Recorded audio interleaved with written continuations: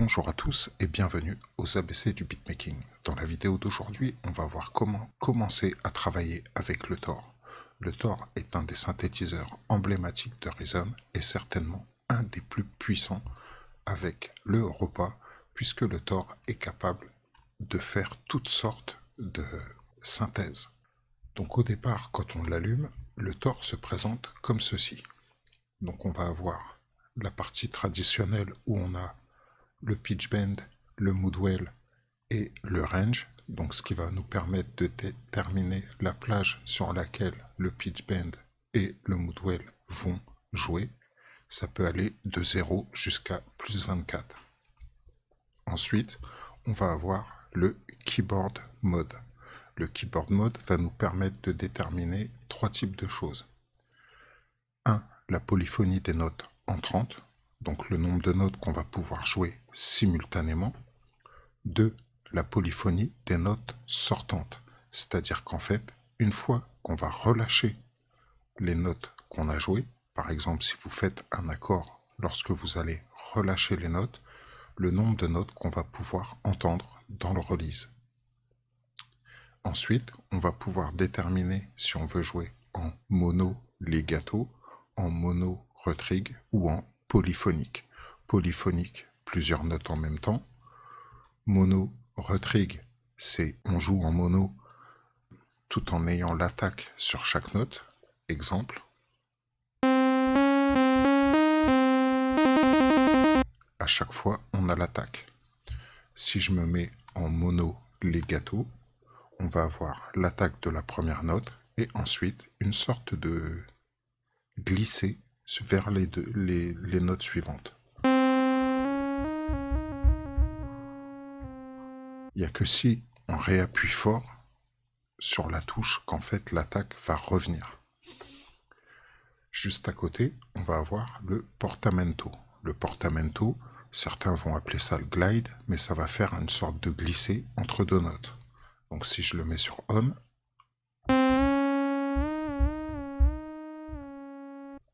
je le remets sur off. Je vais l'accentuer pour qu'on entende bien ce qui se passe. Donc là, je suis en normal. Dès que je le mets sur on, voilà. Et ensuite, on a un mode automatique. Juste à côté, on va avoir la partie trigger qui va déterminer si on veut avoir les, notes venant du contrôleur ou source MIDI ou les notes venant du step séquenceur. Puisque sur le Tor, on a un step séquenceur. Le petit voyant note on qui nous indique que des notes arrivent sur le synthé. Et ensuite, la partie ici, donc de droite, ça va être une partie qui va être dédiée à de l'affectation de contrôle directement mappée sur les surfaces de contrôle. Donc pour ça, il faut que vos surfaces de contrôle soient dans la liste inclus ici. Si votre contrôleur est directement dans cette liste, les boutons seront mappés automatiquement ici. Exemple, sur ma surface de contrôle MPD 232 qui se trouve dans la liste, mes deux derniers boutons, mes deux derniers rotatifs, voilà, sont automatiquement mappés. Ce qui fait que pour le live, si j'affecte une fonction à ces rotatifs ou à ces switches, elle va être mappée automatiquement et donc j'aurai un contrôle dessus direct. Et enfin, on a le master volume. Donc ça, c'est pour l'interface de départ. Après, quand on veut rentrer dans le moteur audio à proprement parler du synthétiseur, il faut appuyer sur le show programmeur. Voilà. Donc, on va dire que le show programmeur va se diviser en trois grandes parties. La première, ça va être ce que moi j'appelle le moteur audio. Ici. Qui a l'air très complexe, mais en réalité est relativement simple. Ensuite, on va avoir la matrice de modulation et enfin le step séquenceur ou arpégiateur. Il fait les deux. Donc on va commencer par le moteur audio. dans le moteur audio, on va avoir trois parties. On va quatre. La première, les oscillateurs, donc les sources sonores. La deuxième, la section filtre. La troisième, tout ce qui va être LFO et enveloppe. Et la quatrième, donc qui est en marron pour une bonne raison, c'est la partie effet, filtre et enveloppe globale ainsi que le LFO2.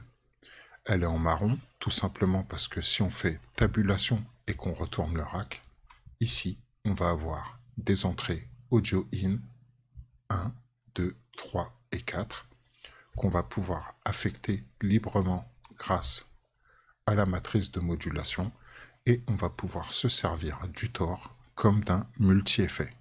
Donc on va pouvoir prendre d'autres instruments, les faire rentrer dans le Tor et utiliser la section en marron pour agir sur des éléments externes. Donc c'est vraiment pas mal, en sachant que on a une section filtre avec un LADET filter, donc un filtre traditionnel façon Moog,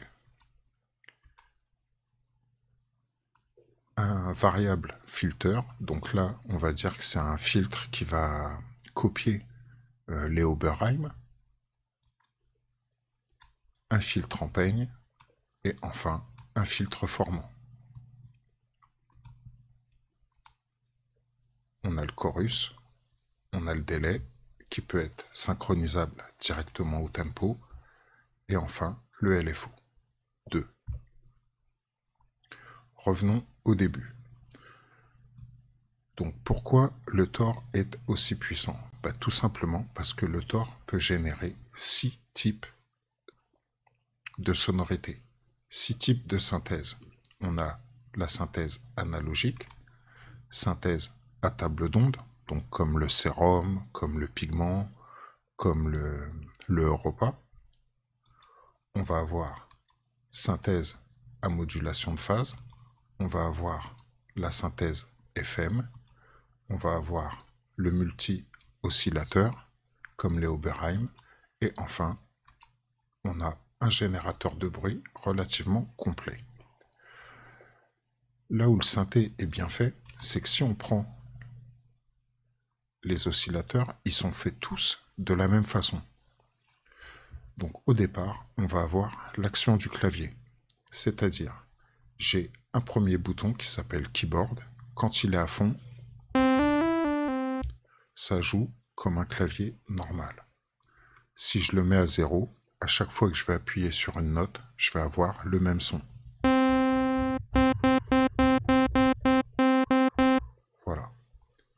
Donc ça, ça va être utile si vous voulez faire des sons percussifs qui vont avoir la même sonorité. Je me remets en normal. Après, j'ai l'octave, semi et tune. Ça, c'est traditionnel. En dessous, vu que c'est un oscillateur analogique, je vais avoir les différentes formes d'ondes et un bouton, euh, c'est Pulse Wave, si je me trompe pas. En fait, lui, il va me permettre de transformer ma forme d'onde.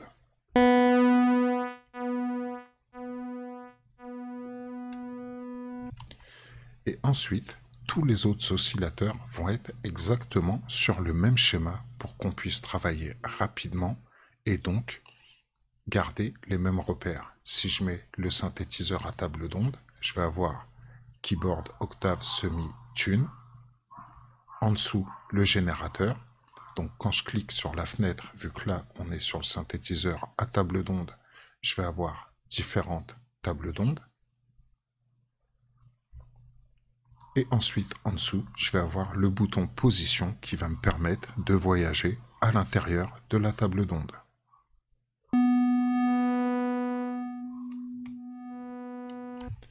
Ici, le bouton XFAD, c'est ce qui va me permettre de créer des transitions douces entre chaque quand je vais voyager. Si on réécoute 100, ça donne ça.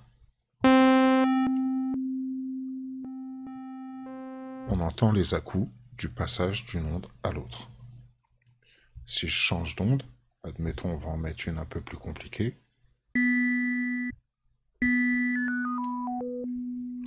Je remets le X-Fad. Voilà. Si je change, je prends modulation de phase.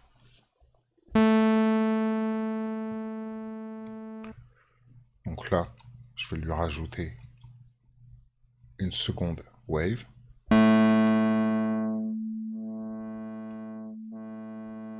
Et on a toujours keyboard, octave, semi, tune. Et ainsi de suite sur tout. Là, on a le générateur FM.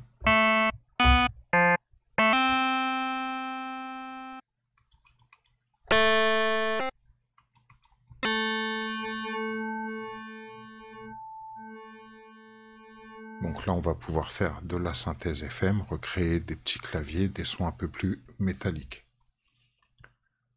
Multi-oscillateur. Donc là, pareil, je vais avoir différents types d'aléas que je vais pouvoir contrôler avec le bouton Amount.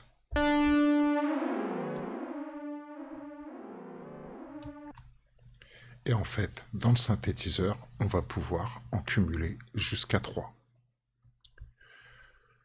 Ensuite, comment ça marche? Donc là, on a la partie source, en sachant que on peut utiliser un oscillateur pour en moduler un autre, etc. pour faire de l'AM. On peut synchroniser aussi tel oscillateur avec tel oscillateur. Donc ça, c'est la partie de devant. Il suffit de suivre les flèches. Et sur tout le synthé, c'est comme ça. Donc maintenant, si je me remets en analogique, admettons, je sors de mon synthétiseur, si je suis la flèche, je rentre dans le mixeur, donc qui va me permettre de balancer entre l'oscillateur 1 et l'oscillateur 2, mais là l'oscillateur 2 est éteint, donc j'ai que l'oscillateur 1.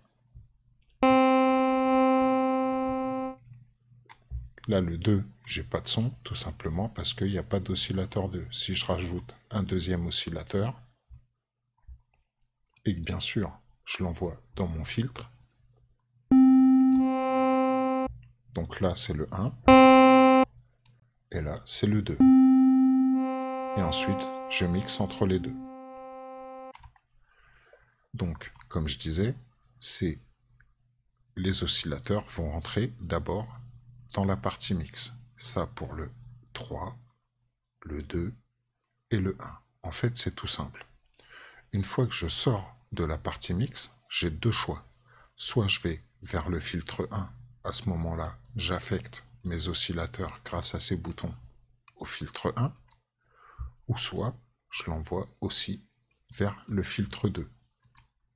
Donc là, ça va nous permettre de faire du filtrage en parallèle. Maintenant, je peux aussi faire du filtrage en série. Pour ça, c'est tout simple. Je vais avoir mes oscillateurs qui rentrent dans le mixeur. Je sors de mixeur, je sors du mixeur, j'envoie directement dans mon filtre 1. Je sors de mon filtre 1, j'arrive dans le shaper. Et ici, vous avez deux flèches. Soit je pars vers l'amplification, soit je pars vers le filtre 2. Si je pars vers le filtre 2, là je mets le filtre 1 en série avec le filtre 2. C'est-à-dire que le son va passer dans le filtre 1, dans le shaper, et ensuite il va se diriger vers le filtre 2. Je lui mets un filtre. La chose qu'il ne faut pas oublier, là si j'appuie directement sur mon clavier, on ne va rien entendre. Tout simplement parce qu'il faut dire au filtre 2 de retourner vers l'amplificateur. Donc on suit les flèches.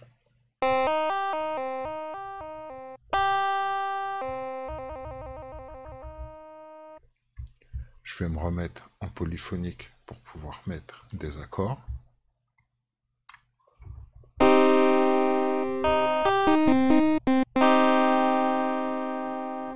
Si je veux travailler qu'avec un seul filtre, j'ai juste à me mettre comme ça et le filtre 2 ne sert plus à rien. Et là, je passe uniquement dans le filtre 1.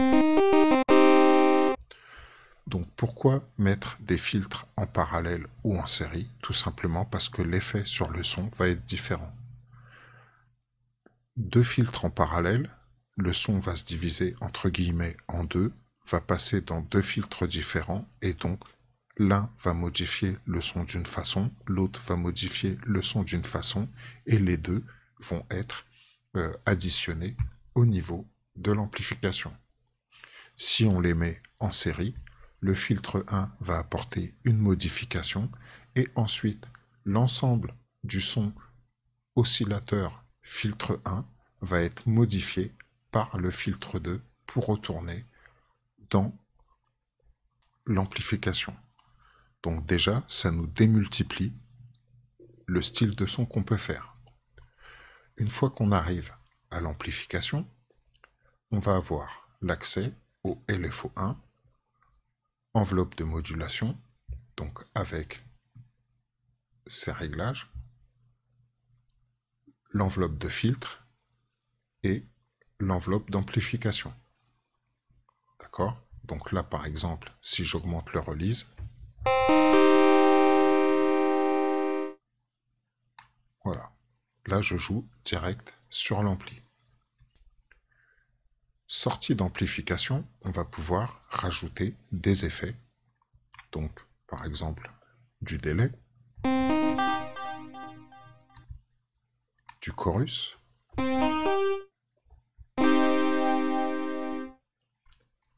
un nouveau filtre,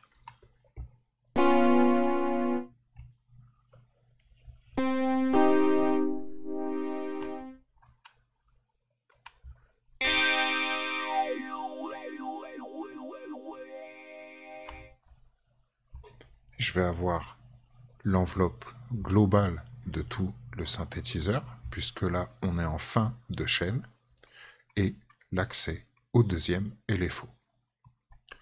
Donc en gros, quand on regarde, pour pouvoir travailler tranquillement, il suffit simplement de suivre les flèches, en sachant que les trois oscillateurs vont rentrer dans le mixeur. Donc là, on a une balance entre oscillateur 1, oscillateur 2, un volume. Là, j'ai plus rien, c'est normal. Un volume oscillateur 1, 2 et un volume oscillateur 3. Si je rajoute un oscillateur ici, que je l'envoie ici,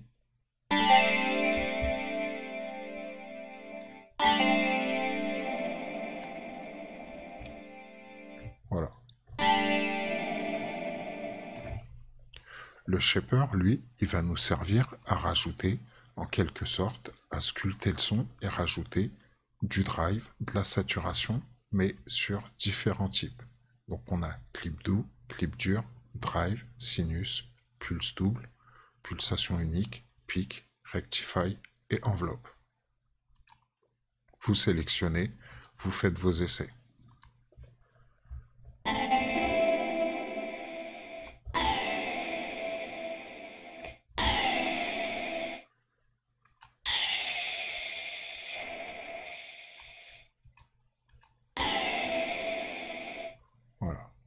Là, je vais me remettre sur le 1. On va rester simple pour aujourd'hui. Mais, hop. Et bien sûr, si j'ai envie, euh, je peux mettre trois fois le même oscillateur. Hein. Ça, il n'y a pas de souci. C'est du semi-modulaire. Donc en fait, on sort des oscillateurs, on rentre dans le mixeur. On sort du mixeur, soit on va au filtre 1 et au filtre 2 si on veut faire du filtrage parallèle, ou alors on peut faire d'abord le filtre 1, puis ensuite, en cliquant sur les flèches ici, filtre 2, sans oublier de repasser par la section ampli. Donc bien penser, si vous êtes en série, à recliquer ici pour que le son sorte, sinon il n'y a pas de son.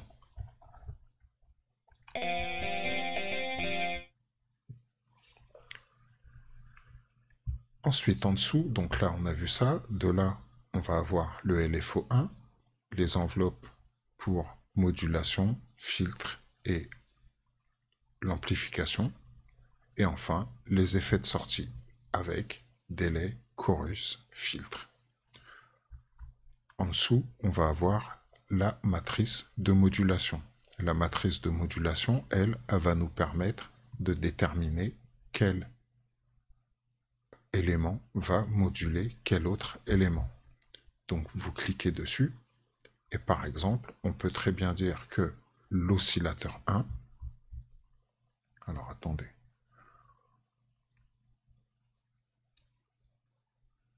donc on va prendre l'oscillateur 1 en source de module, euh, quoique là j'ai mis qu'un seul oscillateur, donc je vais prendre le LFO 1, donc ce LFO là, je vais lui dire, par exemple, d'aller jouer sur le pulse wave ici.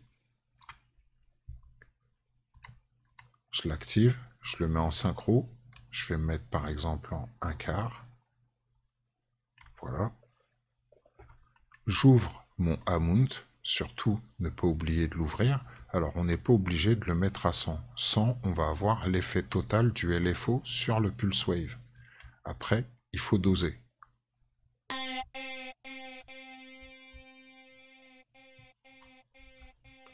Donc si je change de forme d'onde,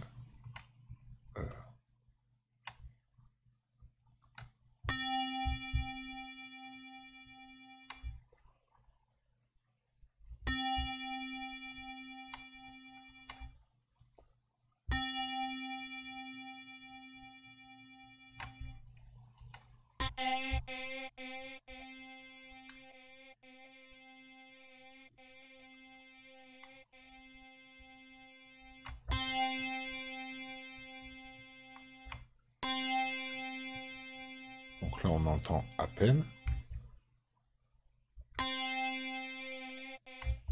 là, on l'entend à fond. Quand on prend le LFO, on va avoir plusieurs paramètres.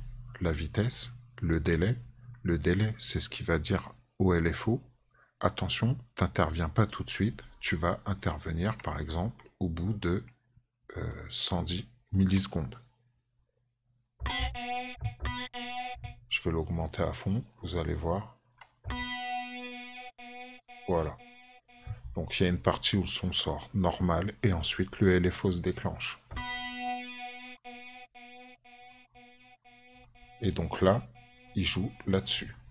Maintenant, je peux très bien dire au LFO de jouer sur mon filtre, sur la fréquence. Donc ici.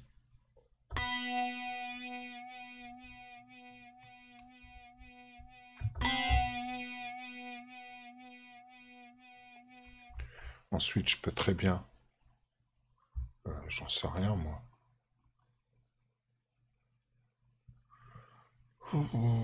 prendre mon LFO et lui dire de jouer euh, sur le volume, sur le gain d'entrée.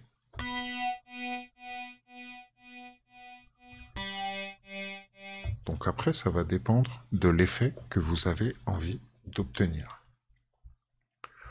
Là, histoire de vous montrer un peu, si vous voulez faire intervenir le séquenceur à pattern directement sur le synthétiseur, parce que ça peut être relativement utile, c'est une des procédures que j'utilise le plus, je vais vous montrer le petit tips. Donc déjà, ici, dans la source, va falloir aller donc euh, MIDI gate. Là, vous mettez MIDI, enfin gate MIDI. En sortie, vous allez mettre séquenceur pas à pas déclenchement. Juste en dessous, vous allez prendre le gate séquenceur, donc ici, et vous allez lui dire d'affecter un paramètre. Donc ça peut être le filtre, ça peut être le volume. Admettons là, on va mettre le volume. Donc, volume de l'ampli, c'est ici. J'ouvre mon amount. faut mettre Le séquenceur ici, vous allez pouvoir le mettre de différentes façons, soit en repeat, en one shot, en step. Après, il y a le mode de lecture, donc en avant, en reverse, en pendule, donc il va faire des allers-retours, donc pendule 1, pendule 2, et en random. Donc, je le mets là.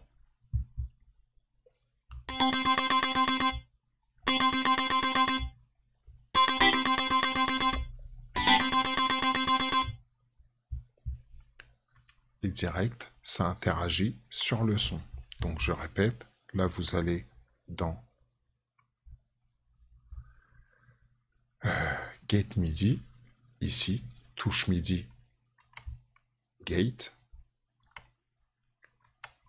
Vous allez affecter le déclenchement en appuyant sur votre touche MIDI. Vous allez forcer le déclenchement du séquenceur à pattern.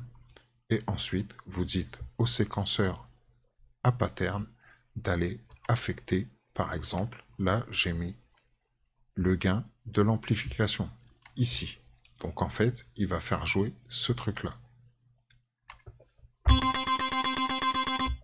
J'aurais très bien pu lui dire aussi d'aller jouer par exemple sur le filtre. Donc filtre, fréquence,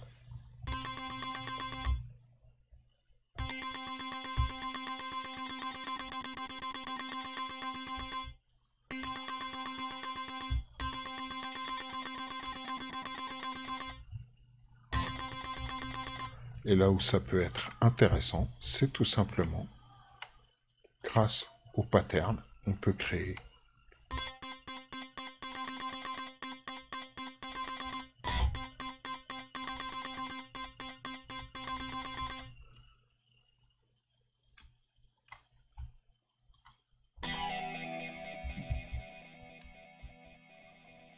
Donc là, vu que je trigue à partir du midi, j'ai retiré step séquenceur. Ce qui va me permettre de faire des accords qui vont être gaietés au niveau du filtre.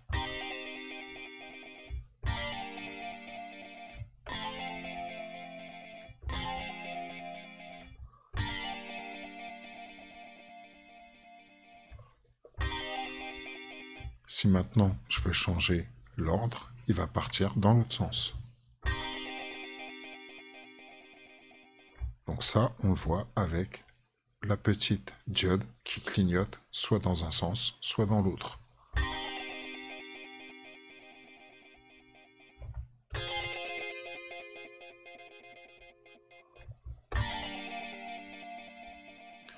Et donc à partir de là, vous pouvez créer toutes sortes de sonorités. Par exemple, si je rajoute une table d'onde, que je l'envoie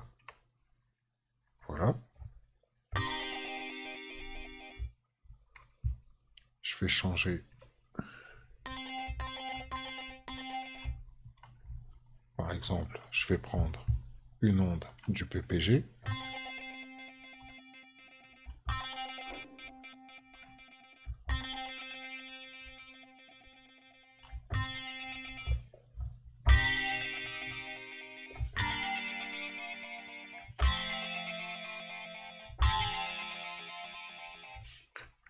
Je pourrais très bien retourner sur mon amplification et le gain.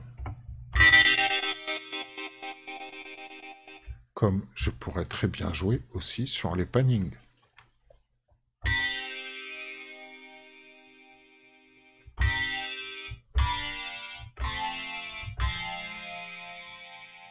Et là, ça va jouer sur le droite-gauche du synthétiseur. Ensuite, pour ce qui est d'utiliser le Tor comme multi-effet, j'avais déjà fait une vidéo, je vous conseillerais d'aller la regarder, c'est relativement simple, on peut revenir dessus. Donc pour ça, ici en source, il faudra dire euh, de récupérer l'entrée audio 1 par exemple, l'entrée audio 2, hop, et de dire à l'entrée audio 1 et d'entrée audio 2 d'aller directement sur l'entrée audio du filtre 3 Euh, je suis bien sur la bonne. Filtre 3.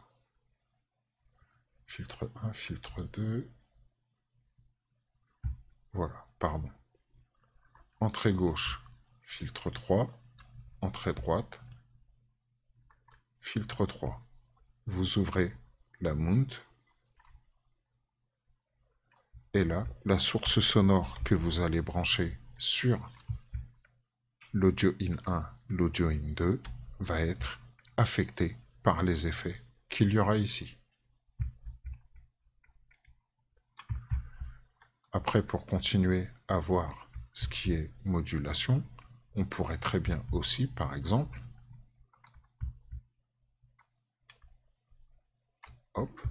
je vais prendre ma molette de Moodwell, donc ça c'est dans les performances, molette Moodwell, je vais l'affecter euh, à la hauteur,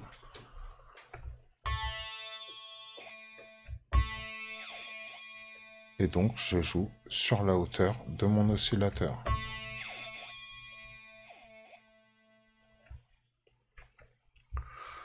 Donc en gros, voilà pour euh, ce débroussaillage du synthétiseur Tor. Avec toutes les informations que je vous ai données, vous allez pouvoir commencer à l'utiliser de façon euh, très rapide. Donc on n'oublie pas, on commence par les sources. Vous choisissez le nombre d'oscillateurs que vous voulez utiliser. Ne pas oublier de sélectionner, suivant le nombre d'oscillateurs, l'envoi vers les filtres, que ce soit le 1 ou le 2 si vous travaillez en parallèle, ou uniquement le 1 si vous voulez faire de la série. Arrivé ici, en dessous le shaper, vous pouvez déterminer soit de rajouter un autre filtre ou d'aller directement à l'amplification. Donc le Tor, c'est un modulaire qui est relativement puissant. Là, je vous ai montré un petit dixième de ce qu'il peut faire, mais avec ça, vous allez commencer à pouvoir faire de bonnes choses et même utiliser le step séquenceur pour agir sur le son avec la petite combine des entrées ici. Donc entraînez-vous pour ne pas oublier les réglages. Hein. c'est avec le, c'est à force d'appliquer que vous allez y arriver et vous allez pouvoir commencer à construire pas mal de sons. J'espère que cette petite vidéo vous aura plu. Si c'est le cas, lâchez un petit pouce bleu. Laissez-moi dans les commentaires si vous préférez utiliser le Tor uniquement avec des presets ou si vous faites du sound design. Maintenant, vous avez les bases pour commencer à faire le sound design. Si vous voulez soutenir la chaîne, les liens sont directement dans la description. Laissez-moi vos commentaires et puis je vous dis à bientôt pour un nouvel épisode des ABC du beatmaking. Salut, salut